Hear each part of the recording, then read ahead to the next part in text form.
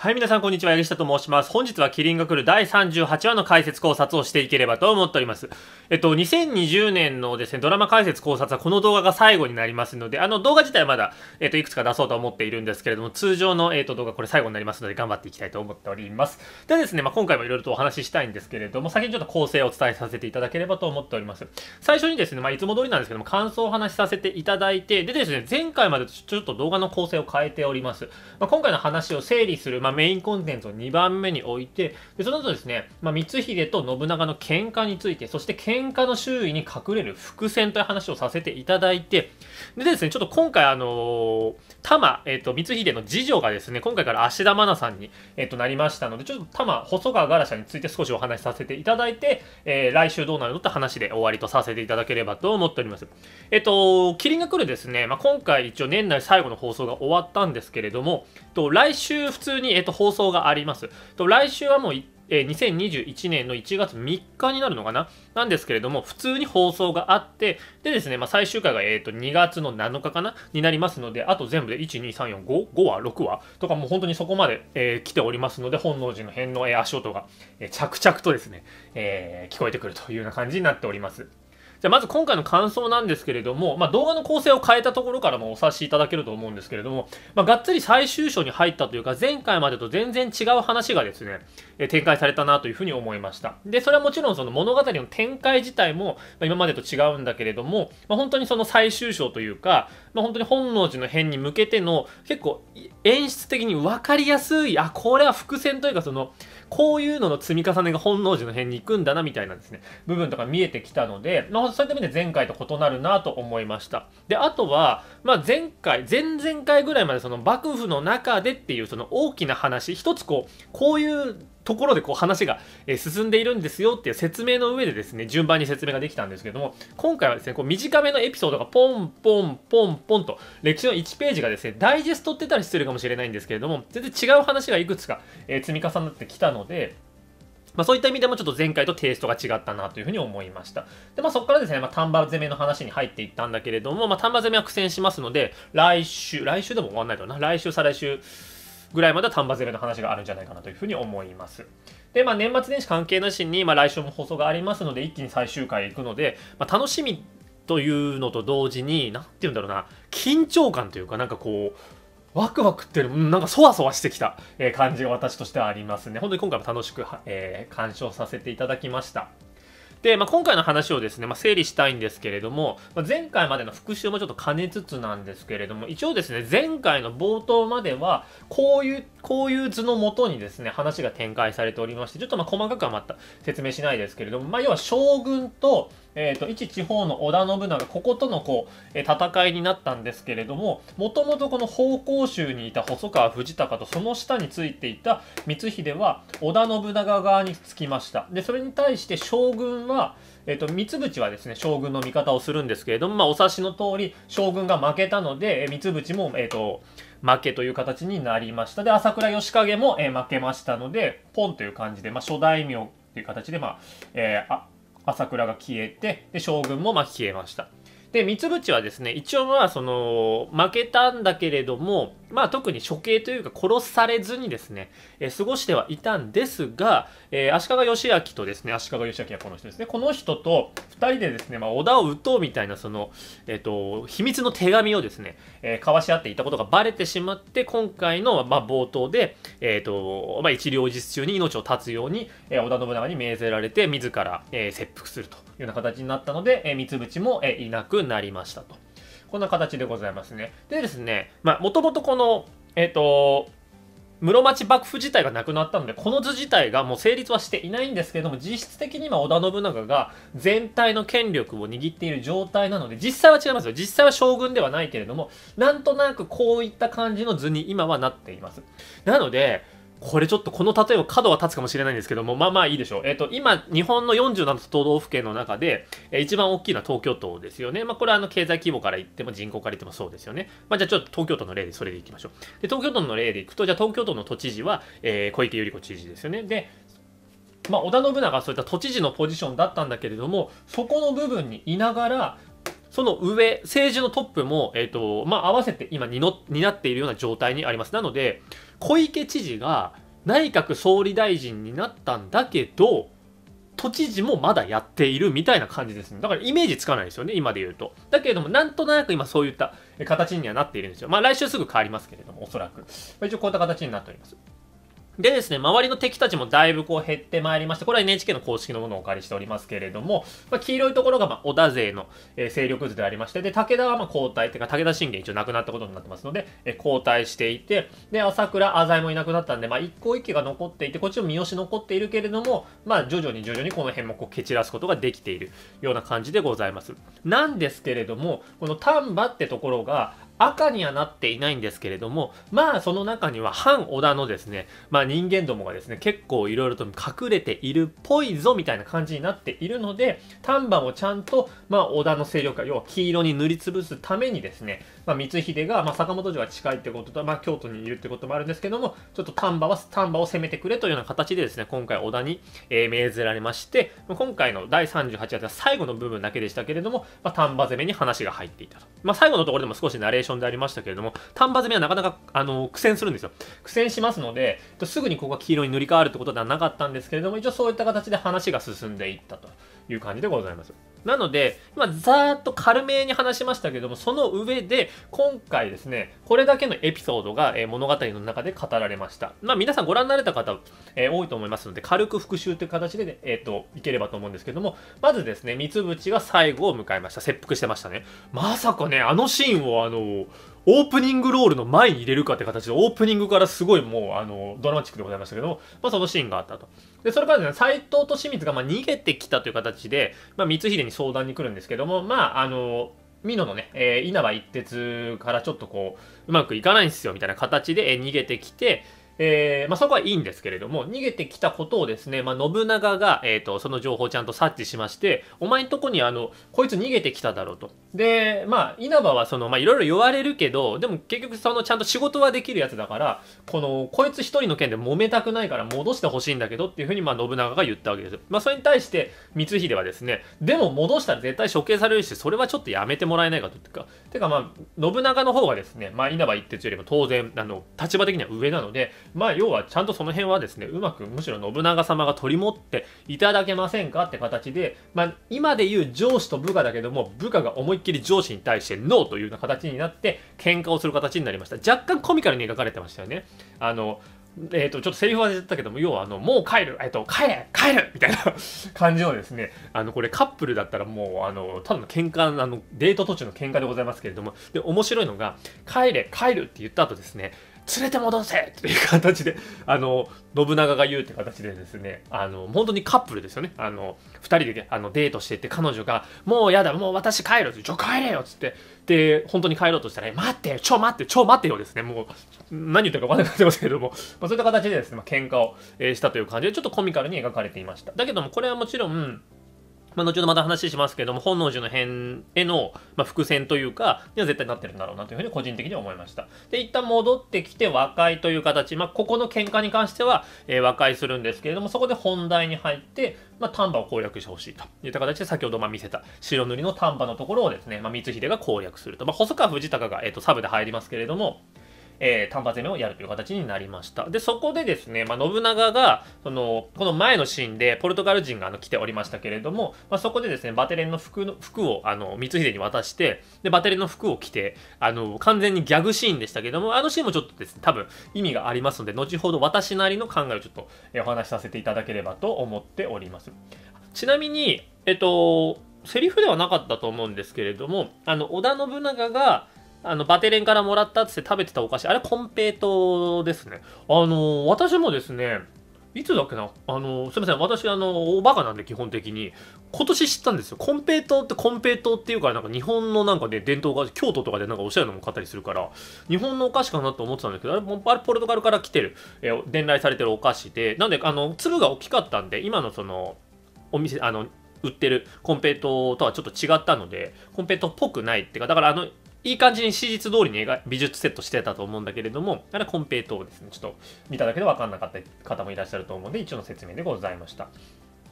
で、その上で、えっと、今のですね、関白である、まあ、二条晴吉がですね、結構必死こいてですね、まあ、信長と結託して、また改めて権力で浮上しようとしております。でですね、まあ、セリフでもありましたけれども、二条晴吉っていうのは、要は前回の冒頭で追われた将軍である足利義明とですね、組んで、今の関白の座を、ま、手に入れた人物ですよね。もともそれまでは要はこの江崎久だったのでね。なんですけれども、まあ、その将軍が追われてしまったんで、言うならば立場というか、まあ、影響力がかなり今、二条晴吉は落ちているんですよね。まあ、言うならば、なんか一緒に担いだやつ追放されたのになんでお前まだその、帝の近くで仕事してんの？みたいに絶対陰口も叩かれているような立場なんですよ。だけれども、まあ、だからこそ、言うてもその仕事はそのまま続けたいというか権力っていうのはね失いたくないものじゃないですかなのでそれを考えた時に、まあ、今織田信長がイケイケどんどんなので、まあ、信長と組むことによって改めて信長の力をですね背後に、えー、抑えることによって、まあ、自分の権力を維持しようとしているというのが二条晴吉のシーンでございました。で、その2条に追われてしまった近衛先久はですね、まあ、雲隠れというかですね、えー、しているんですけれども、まあ、光秀と協力して丹波攻めの、まあ、話ですけれども、えー、協力することを、まあ、言いました。で、しかし、なんですけれども、まあ、近衛先久自身は別に裏切ったわけではございませんけれども、まあ、丹波攻め、要はもともとは丹波を攻めないで、うまく丹波を、まあ、要は光秀の主張した黄色塗りにしたかったってことなんですけれども、まあ、なかなか従うことがなかったので、実際にその後ですね、まあ、丹波を攻めるというのが今回の第38話の最後のシーンという形になったわけでございます。であと1点今回のなんか一連のこのシーンとは若干その完全に別物の話なんですけれどもやはりですね私が前回こうあの予想した通り菊丸が前回ですねあの光秀にあの手紙をあの匿名で手紙を書いてましたけどやはりその筆跡がですね今回光秀が「お」っていう風になってあれ？武田信玄が亡くなったっていうあの誰かからから分かんないあの秘密の手紙と菊丸の筆跡が同じだぞ。ってことはあれを書いたのは菊丸なのか？じゃあ菊丸は一体何者なのか？みたいな形でですね今回完全に怪しむシーンがすごく分かりやすくですねあの演出されていたのでやはり菊丸はですね、まあ、途中あんまり出なくなりましたけれども第1話からま登場してますしでまあ三河というか要は徳川の、えーと、使い、まあ、あの忍びでございます忍者でございますのでその辺はですね多分岡村さん演じる菊丸というのはまだまだここからですね最終回に向けて結構重要な役割を担うんじゃないかなというふうに思われておりますね。はいどうですかね、まあ、徳川の使いとしての、まあ、活躍をするのはもう間違いないと思うんですけど最終回まで。そこからより光秀とどういう感じで結託をするかもしくは敵対をすることになるのかっていうのはですね、えー、歴史上の一応人物では、まあ、一応一応オリジナルキャラクターなのでまあ、多分あのいろんな人物を投影してるような感じはあるんですけれどもちょっとまだまだそこは分かりかねますけれども菊丸は絶対もうここに来てこういう演出がされているってことは絶対まあ最終回に出るか分からないけれども終盤にかけてもう一山二山彼によって作られることは間違いないんじゃないかなというふうに予想ですけれども思います。あの外れたらごめんなさいね。一応そういうような形で今回を私は捉えました。はい。でですね、まあ、光秀と信長の喧嘩のシーンですね、一瞬笑っちゃうシーンではあったんですけれども、まあ、これはですね、やはり、まあ、今で言うと上司と部下ですよね。で、当然皆さんお察しの通り、本能寺の変を起こす側、火つけられて、一応史実上は自害する側でありますよね。それを考えた時に、やはりですね、まあなんか徐々に徐々にこう、全部が全部敵対しているわけじゃないけれども、信長のその、まあ、あのー、ちょっと切れやすいっていうか、三井でも切れやすいんですけれども、まあ、ちょっとなかなか合わないなというか、ちょっと違うんじゃないかと思う部分がですね、光秀の間にやっぱり少しずつ溜まっていってる気がしますよね。これはあの、比叡山の焼き討ちの時も、まあ、信長はその女子供も全部もう皆殺しにしろって言ったけれども、光秀はあの女子供を逃しましたよね。なのでその辺とかも含めて、やはり、あの、そのシーンそのシーンでは、小さなズレなんですよ。だ今回もまあ喧嘩したと和解してるので、小さなズレですよね。これで絶交したわけじゃないから。だけれども、この小さなこのボタンの掛け違いが、こう、積もっていくことによって、やはりですね、それが本能寺の変につながるんだろうなっていうのは、非常にそれをこう、分かりやすく演出している部分があるので、間違いないだろうなというふうに思います。なので来週以降も、舞は出るかどうかは分からないけれども、一緒にまだまだ協力して最後までやっていきますけれども、そこの中、家庭におけるボタンの掛け違い、価値観の相違ストレスの蓄積っていうものが多分うん本能寺の変につながるんじゃないかなと個人的には思っております。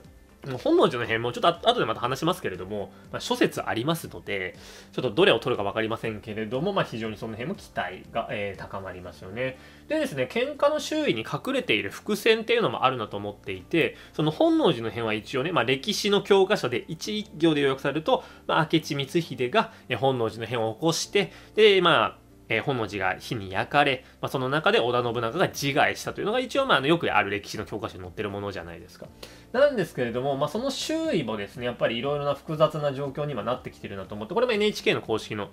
図なんですけれども、あのー、こことここの距離感がなんかちょっとよくわかんなくなってきてますよね。で、なので、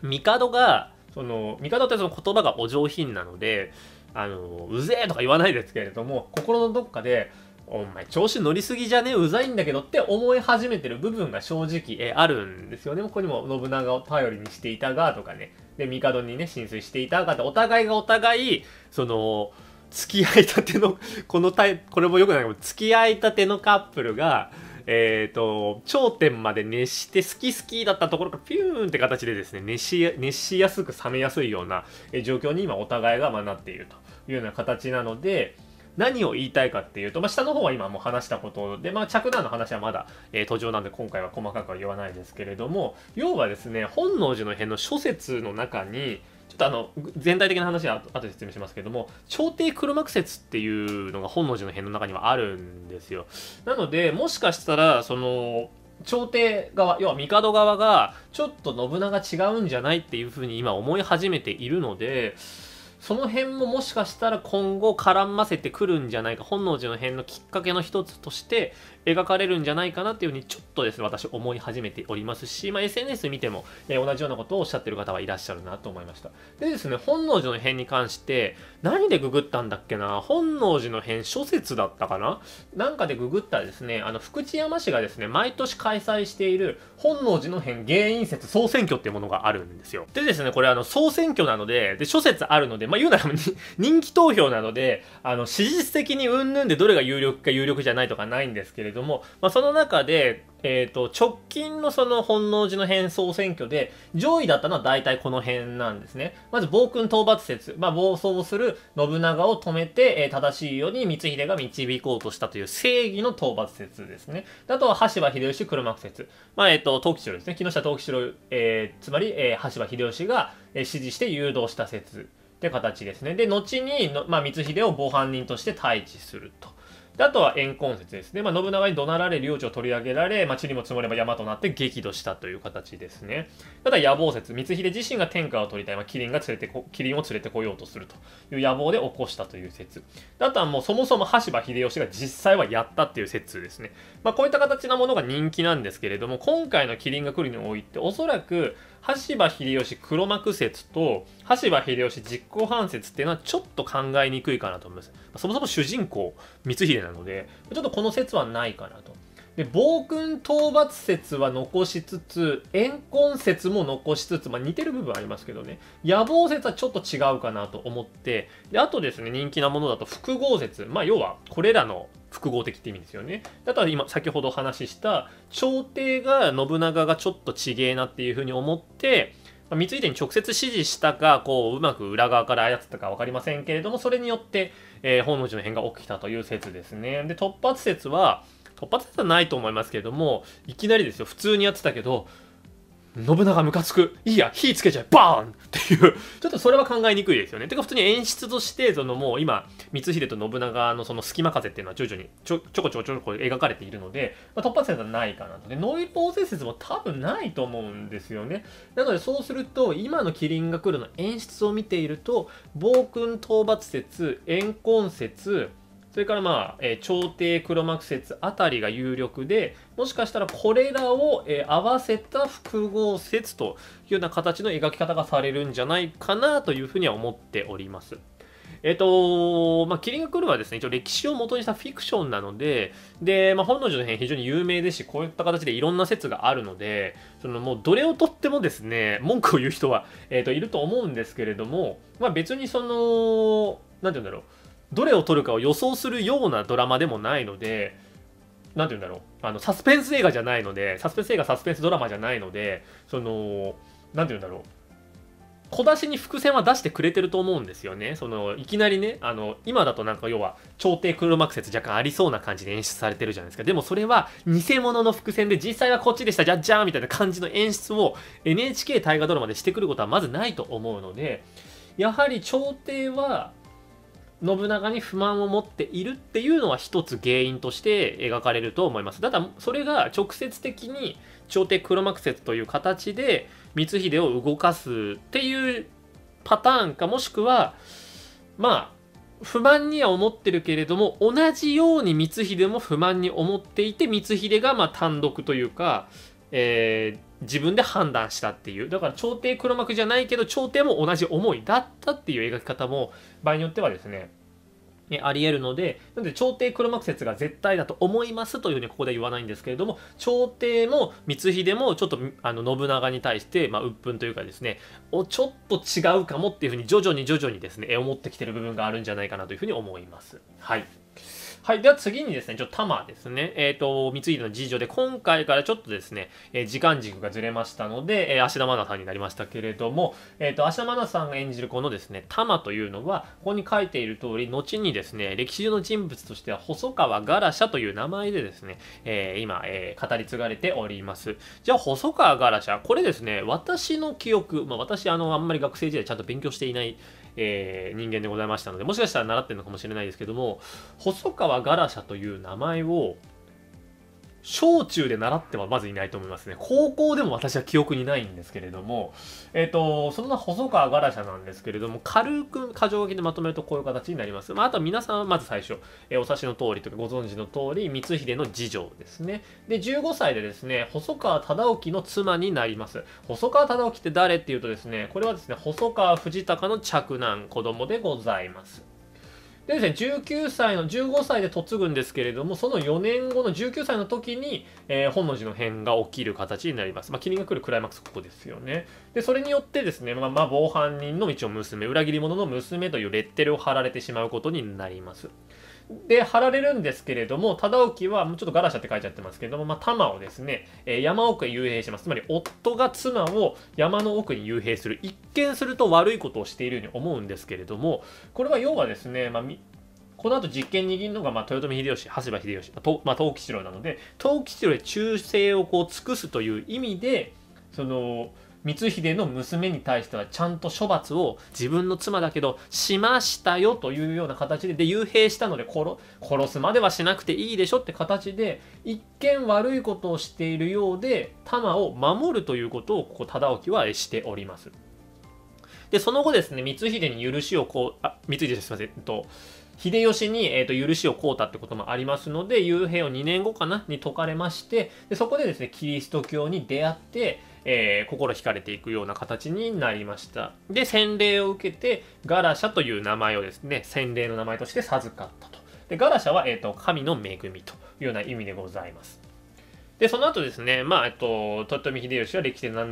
習った通り、えーまあ、天下統一こそしたけれども、まあ、戦国時代は終わる前に、えー、亡くなってしまいます。でその後は皆さんご存知の通り徳川家康と石田三成で、えーと、関ヶ原の戦いになるわけですけれども、そこの実験、えーと、争いに対してですね、え、石田軍がガラシャをですね人質に差し出すように迫るんですね。なぜかというと、まあ、要は細川忠興がですね、まあ、徳川側につくっていうような話もあったので、まあ、そこでですね、ま、保険として、えーと、こんな形になりました。なんですけれどもガラシャですね、ま、キリスト教の洗礼も受けていて非常にですね、ま、頭脳明晰というか、えー、キレッキレの人物でございますのでガラシャはですね自分のこう身支度を整えて、まあ、子供たちへの書き置きとかねいろいろ、えー、してですねそれを済ませたらですね取り囲まれているところにこう出ていかずにですね、まあ、使用人、えっと、家人にですね、えっと、刀で、刀を使用人に持たせて、胸をつかせて、亡くなるというですね、壮絶な最後を遂げるという形になりました。で、このですね、まあ、死亡の方を聞いた忠興は、あの、泣いたというようなですね、語り継がれている、えー、史実もございます。なので、このキリンが来るっていう話は基本的にはま光秀の話なので、ここまで描かれるかどうかはわからないですけれどもただここのタイミングでこれからクライマックスを迎えるこのタイミングで芦田愛菜さんをキャスティングしているのでしれっとあと12回だけ出て終わることはまずないと思うんですよね。なのでうんなんかそう考えるとガラシャで終わんのかなキリンが来る最後とかちょっとちょっと期待したりもするんですけれどもちょっとここまでこんな詳細に描く尺はないと思いますけれどもちょっとですね部分的にでも描いてくれたら、えー、せっかく芦田愛菜さん演じられておりますので嬉しいなというふうに思います。はい。という形で、まあ、年内最後のキリンが来るがこれで終わったんですけれども、まあ、来週普通に、えー、とまたありますのでちょっと来週どういう話か追っていきましょう。えー、じゃ読んでみますね、えー、戦が戦に次々と勝利し朝廷より武士としては最も高い官位を授けられる信長。しかし三条西実はもはや帝さえもないがしろにするその態度を危険視していた。大阪本願寺との戦いで疲弊する光秀のもとにやってきた信長は一方的で無茶な要求を繰り返す。これもやはりまた、えー、ストレスとして溜まっていくんでしょうね。でそんな中高熱で倒れる光秀。運び込まれた今日の館で必死に回復を祈る妻ひろ子だったがという形でございますけれども、えー、と今後ですねこれ歴史上の話なのでもしかしたら脚色されるかもしれないですけれども、えー、とまずですね、美濃にいる、えー、お母さんの、えー、マッキーそしてですね妻のひろ子ともに、えっ、ー、と、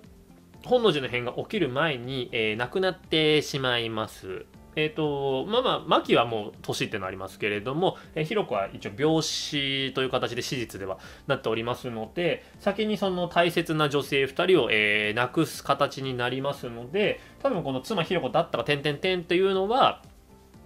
来週でひろ子が亡くなるかどうかはわからないけれどもひろ子の病っていうのが多分ちょっとずつ、えー、演出でも加えられていくんじゃないかなというところに差し掛かってきたなというような感じですね。例えばこの文章の中で気になるのはまあ、帝さえもないがしろにするその態度を危険視。これ危険視してるのは三条西実純ですけれどもやはりちょっと帝と信長の間の隙間風っていうのがありますよね。で光秀に対して無茶な要求を繰り返す信長なんでちょっと徐々に徐々に信長が、えー、うざい形で描かれ始めるんじゃないかなというふうに思います。これはまあ光秀が主人公のねドラマなのでまあそういった形の描き方になるでしょう。で、えっと、光秀は高熱で倒れるって形なんですけど、意識が確か失ってしまって数日だが、えー、寝込むことになりますので、多分その史実が描かれるんでしょうということですけれども、ちょっと広くは気になるというような感じでございます。はい、以上になります。なので、あの今回ですね、年内最後のキリンが来るだったので、もしかしたらちょっとドラマチックな感じで終わって、また来年もうちょっと続くみたいな感じで終わると思ったんですけども、さすがにですね、そもそもこの越年自体が想定外ですよね。もともとその沢尻エリカさんの、えー、逮捕があって、えっ、ー、と、あれじゃないですか、あの、機長が川口春奈さんになって、再撮影があったので、スタートが遅れたんですよね、キリンが来るって。スタートが遅れた上に、まあ、要は、新型コロナウイルスがあったのでそれによって計画通りに撮影が進まなかったので、まあ、それで結局初めて初めてじゃないのかな、まあ、越年になったのでもう別にもうこのまま来週も普通に話が続いていくというような形になるようでございます。